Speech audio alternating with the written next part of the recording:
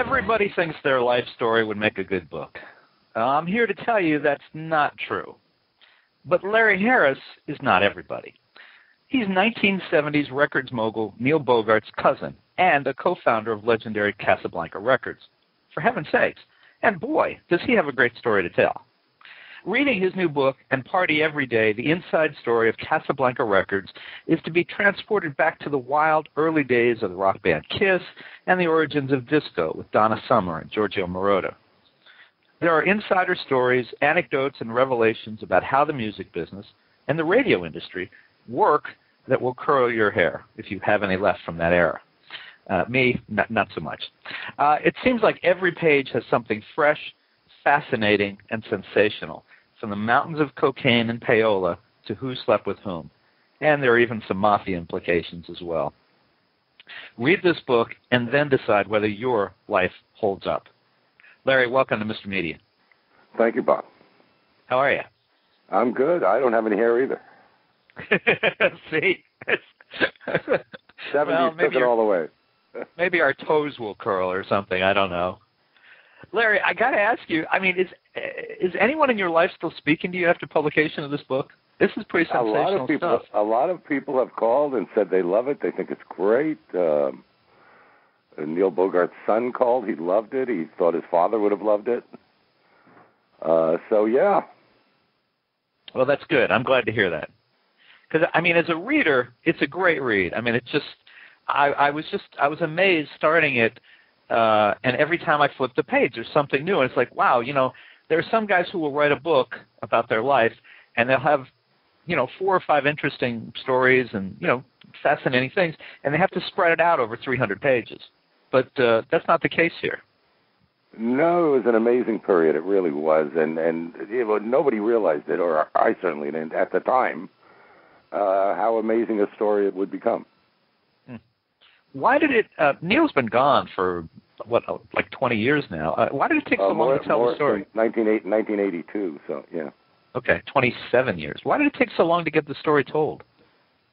Well, you know, uh, at first it wasn't a story. Uh, it was just something that happened. Um, about ten, twelve years ago, I sat down one day after people kept bugging me about, oh, all these stories, you should write a book. And so one day I had nothing to do, and I started putting down some ideas and thoughts and uh, to really stream of consciousness stuff.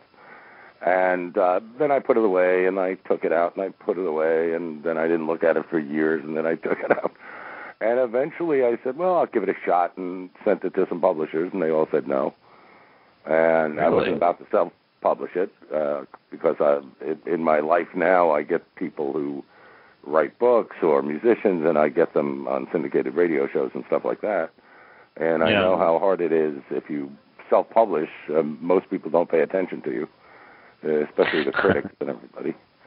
So anyway, uh, eventually. Um, um, ran across two guys who were working on a book with Lydia Criss, who's uh, uh, Peter Criss's wife. He's the ex-drummer of Kiss. Right. And uh, they asked me to, you know, look at a picture and tell them who was in it. And then we started chatting, and they happen to be two Kiss freaks. Uh, not that the book is is the book has Kiss in it, but it's not by any stretch of the imagination, you know, mostly Kiss. And um, we decided to work on it a little together, um, and they fixed it up a little bit. They did some more interviews with people. They researched, you know, exact dates and stuff because I don't remember if it was March or June or, you know, when these things happened. And Right. um, then we again got turned down by like 30 publishers. And then Hal Leonard, uh, which is a music publisher basically of books and uh, sheet music, loved the story, and that's how the book came out. Wow. Well, I I got to tell you that um, your uh, your co-authors uh, Curt Gooch and uh, Jeff Suhs did a, they did a great job by you. I I mean I make my living doing what they did here, working with people who have you know stories to tell, and it just uh, every page is just dripping with stuff I want to read. You know, I I, find that uh, remarkable, frankly.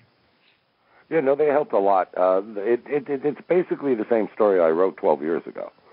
There's been, you know, things left out and things put in just because of the length we were limited to in the book. We actually went over the length we were supposed to do. uh, there would have been a lot more stories, but the publisher didn't want to print a 500-page book. So, um, well, let's uh, let's go back uh, to before Casablanca, and which is kind of where the story starts. Uh, uh, Neil Bogart turns out to be your cousin. You didn't know it at the time. You're introduced, and then you don't really have any contact with him. Uh, tell tell folks about how he brought you into the, the music business. Well, um, Neil was my cousin on my father's side of the family, and we weren't real close to that side of the family. Mm-hmm. Um, and um, I met him. Uh, I think I was like 13 or 14, and he was probably 18 or 19 or something like that. And uh, he brought me a record uh, that he had done called Bobby by an artist named Neil Scott, which was the name he was using. And um, I don't know, made top 40 on the charts or something like that. And it was one of those girl dies in a car crash accident thing. and um, uh, then I hadn't seen him again for. Uh, my parents went to a wedding uh, in 1970 uh, and uh, they saw his mom, and they were talking, and his mom said, "Oh, if your son's looking for a job, have him call my son." And so I called Neil, and he was at Buddah Records. He was the president of Buddah Records. I think at that point he was the youngest president ever in the music business of a major label.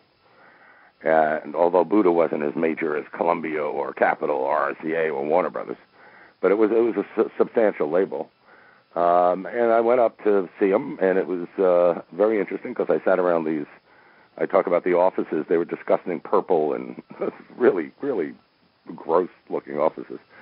But I went up there and I sat around for four or five hours, and uh, they kept asking me who I was and what I was doing there. And I said, "Well, he said I should come in and meet with him." And wound up, I found out later that he had to call his mom again uh, on the phone to find out who I was but lucky for me, the guy who was doing local promotion for New York for Buddah was caught um, on the couch in the office as Neil was coming back from dinner with the company, a very straight-laced education company called Viewlex. The president of that company and Neil had gone out to dinner um, and come back and found this guy on the couch in the office with a music director of a major New York radio station um, making love and uh, the guy was so incensed from Viewlex that he had Neil fire the guy on the spot. If Neil had just walked in by himself, he would have given the guy a raise for doing that. but uh, so a, a week later, I walked in and the job was open, so I got the, I got the job. Now I got to ask you about that story because you were it's a little vague in the book and a little vague in the telling here.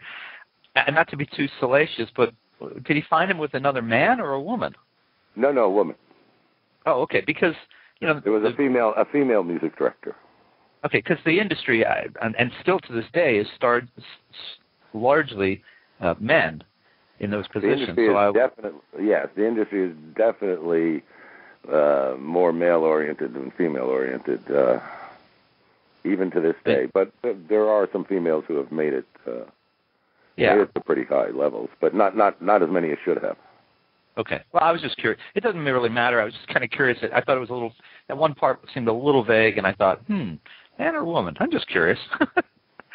so, also in those in those days, um, uh, a lot of the women who were music directors were there to be a buffer for the program director more than actually choose the music. Right. Right. And and uh, we're going to jump around a little bit, but uh, so uh, you you come in, you you join him at Buddah, and then an opportunity arises to uh, leave Buddah, start a new label, Casablanca, and you guys uh, at this point, I'm, I'm trying to remember. At, you've got well, the sto- the Buddah story. The Buddah story itself is a fascinating story, uh, and I talk about Buddah in the book. Not not a whole yeah. lot, not as much as, as Casablanca, but the Buddah story was uh, a story about uh, uh, artists like and Shipley and Gladys Knight and Bill Withers and Curtis Mayfield and there's a lot of drugs and stuff involved with with that with Curtis. Um, and uh, we we started in the comedy business. We had David Frye and Robert Klein, uh, Michael Franks, who I usually leave out of my stories for no other reason than uh, at that point in his career there was nothing exciting happening. Uh-huh. Uh, it, it didn't it didn't really break for him until he went over to Warner Brothers. Uh, I'm a big Michael Franks fan, so I appreciate you mentioning him. Oh, he's a really nice guy, but the first album we had with him was on Brut, uh, the perfume, Brut Fabergé, the perfume company, decided to dabble in the music business. And their only two artists were Michael Franks and Robert Klein, uh, which was kind of cool, though. I learned a lot about that business from those people, you know, to learn that, you know, uh, perfume sells for fifty, hundred dollars a bottle, but it costs them a nickel to make. um, so they had private jets. And the first time I was ever in a private jet was a it was a Brut Fabergé private jet that Robert Klein and I had to go on some some tour with. Uh, but it was pretty cool. It was actually the only time I was on a private jet. Uh, but the Buddah the Buddah experience uh, was wonderful. We brought Genesis to America. I talk about how we brought Monty Python to America and how we exposed it to PBS, and that's when the whole Monty Python thing slammed over American waters. So um, uh, but it was an amazing thing, and the things we learned, or I learned there, I used at Casablanca to help break Kiss. Uh, Kiss, um, it was not. It was not easy at the beginning. It was not like a slam dunk. They. Oh, was, I guess it. yeah, it was anything were, but a slam dunk. They were the, the the makeup turned everybody off. Yeah. It wasn't so much the music, which was not wonderful but it was certainly the makeup that made people uh, cringe and go, "We're not going to play this. Are you crazy?" so we had to find ways around that, and um, but we did know we had a band who could perform incredibly well and blow the audience away every time. Uh, we had a similar band like that at Buddah. We had Sha Na Na. Every time Sha Na Na performed, aside from the women coming in poodle skirts and stuff too, and they're probably their mother's poodle skirts um, Sha Na Na never failed to make the audience stand up and dance and go crazy.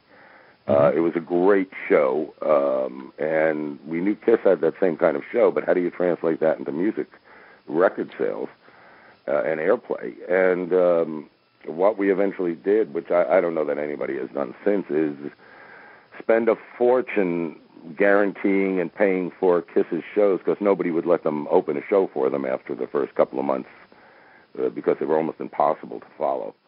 Right. So um, we wound up getting them gigs in markets that they didn't even have airplay, and uh, we covered any shortfall that the promoters in the markets would would would have, and uh, it worked because once they came into a market and performed, word spread drastically.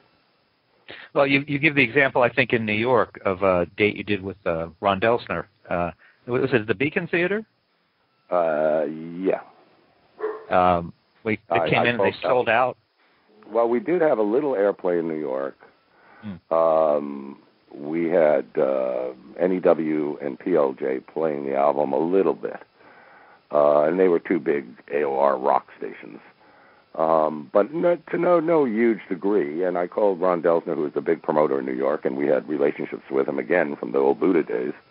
Mm-hmm. And Delsener thought I was crazy, but I said, "Look, Ron, put on one show. It's only like a three thousand seat theater. Mm-hmm. Um, if you lose any money, we'll we'll pay you for it." And uh, you know, he he believed we'd pay him, which we would have, and he put on the show. I got a call a few days. I was just hanging out in Neil's office because at that point we didn't have a lot of artists on the label.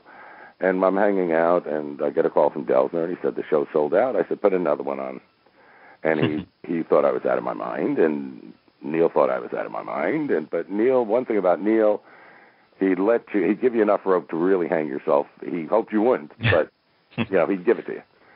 And uh, the next show sold out in a couple hours. Uh, so you know Kiss exploded there. But the big story for Kiss was Detroit, where I walked into WABX, which was the big rock station in those days in Detroit, and uh, the program director was on the air, Mark Parenteau um, who was wound up being a big disc jockey in Boston and New York later on. And um, Mark and I started doing coke on the Kiss album jacket, which was mostly black with their faces. So it was a mm-hmm. great album to do coke on. And uh, while he's on the air, he's telling me, "No, I don't like this band. I like this new band, Aerosmith. Uh, I'm going to play them more." And I said, "Well, you know, if there's nothing else I can do, here's the deal. We'll put on a show. We'll pay for everything. You pick any acts you want if Kiss blows the audience away within the first two minutes that they're on stage, then you got to play them like they're the second coming. If they don't, I'll never talk to you. I'll never mention their name to you again.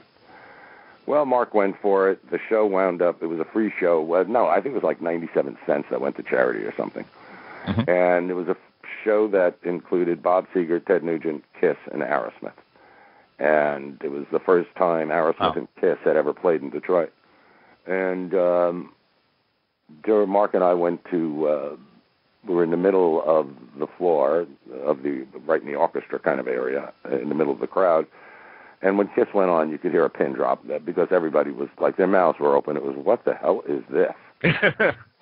And after Gene spit his first fire, it was all over. The place went crazy. Mark turned to me and said, "You win," and uh, that has always been their biggest market.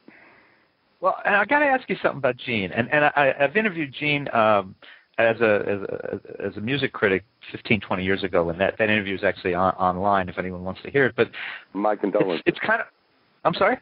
My condolences. well, you had to I wanted to ask you. It's a it's a very um, it's a very strange thing, isn't it? That um, you were you were promoting them with a, with with people in, in the radio industry, with Coke and that kind of thing. Gene and Paul apparently very straight all these years, not interested in that stuff themselves. Oh, very straight. No, I've never saw Gene or Paul. Uh, I may have seen them once have a glass of wine, but that's probably the most I've ever, if I if it was even wine in the glass. Hmm. Yeah, they were very straight. Where Peter and Ace, the other two members of the band, were were far from very straight. Right. Well, um, boy, time time is just ticking by. I want to ask you about the other really big act on Casablanca, which was Donna Summer. Um, she was almost a by, just a, an afterthought when when you guys signed Giorgio Moroder, right? Well, she wa- we didn't sign Giorgio Moroder. W- w- What happened was a, a woman named Trudy Meisel came to our office. We had just left Warner Brothers. We had no money.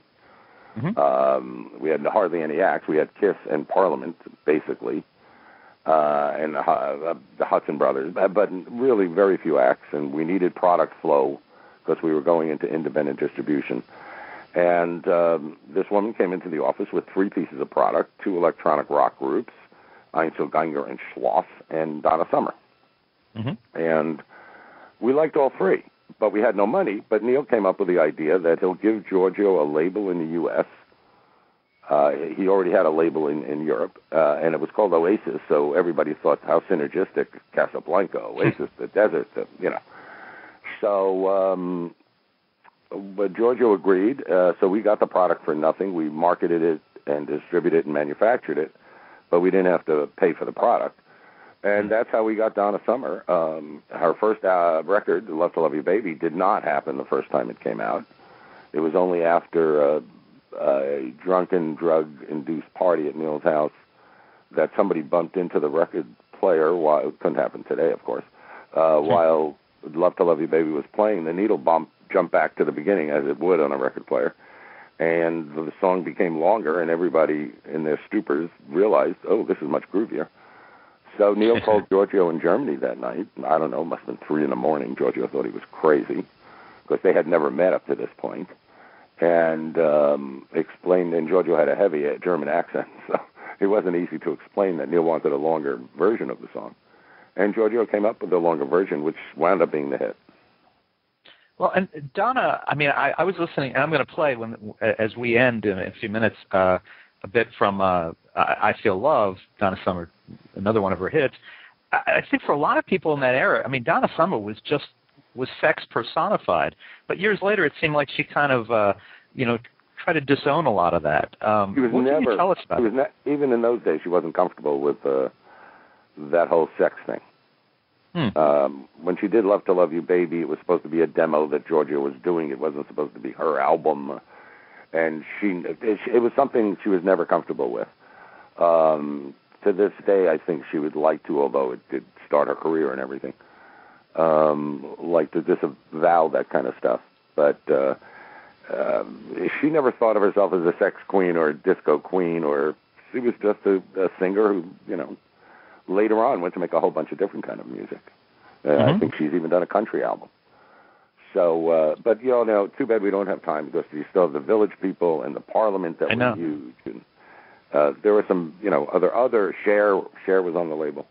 Uh, Robin Williams, Rodney Dangerfield. There's some other really great stories in the book about those people. Well, like I said, every it seemed like every page had something incredible to talk about.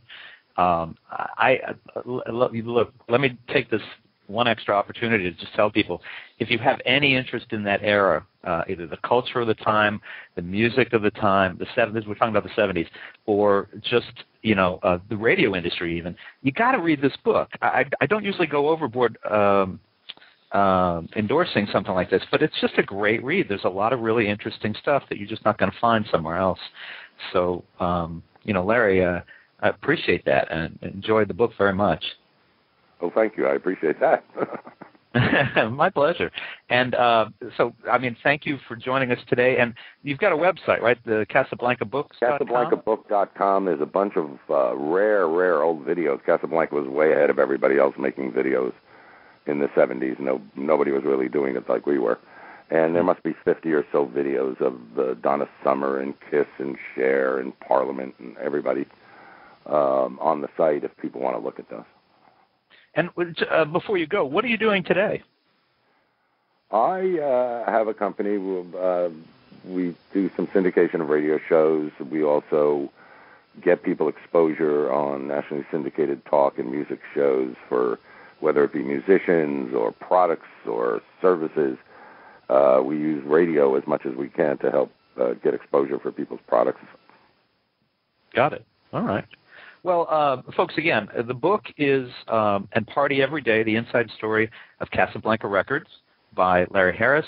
Uh, you can you can find out more about the book at casablancabook.com. You can order it on mrmedia.com. And uh, Larry, thanks so much for joining us today. Hey, my pleasure. Thank you so much. All right. Good luck to you. Yeah, thank you. Bye bye. All right. Bye bye. And folks, for more music-related interviews, you can surf over to our main website. It's www.mrmedia.com mrmedia.com. That's where you can listen to my earlier conversations, one I mentioned uh, with Gene Simmons of KISS. Uh, there's one with the late John Denver, as well as music journalists such as Legs McNeil, David Wild, Bart Bull, and many others. Subscribe to Mr. Media on iTunes and you'll never miss a show. Just search Mr. Media Interviews from within iTunes and subscribe for free. And don't forget to tell your friends the show you like so much, Mr. Media. You can also listen with a piece of string and a tin can in many locations. If you've got an idea for a guest, email me directly at bob at andelman.com. It's A-N-D-E-L-M-A-N. You can also follow me on Facebook or on Twitter, www.twitter.com slash Andelman or facebook.com slash Andelman. Thanks so much for joining us today. Always appreciate you give up a little piece of your day join us. Thanks for listening.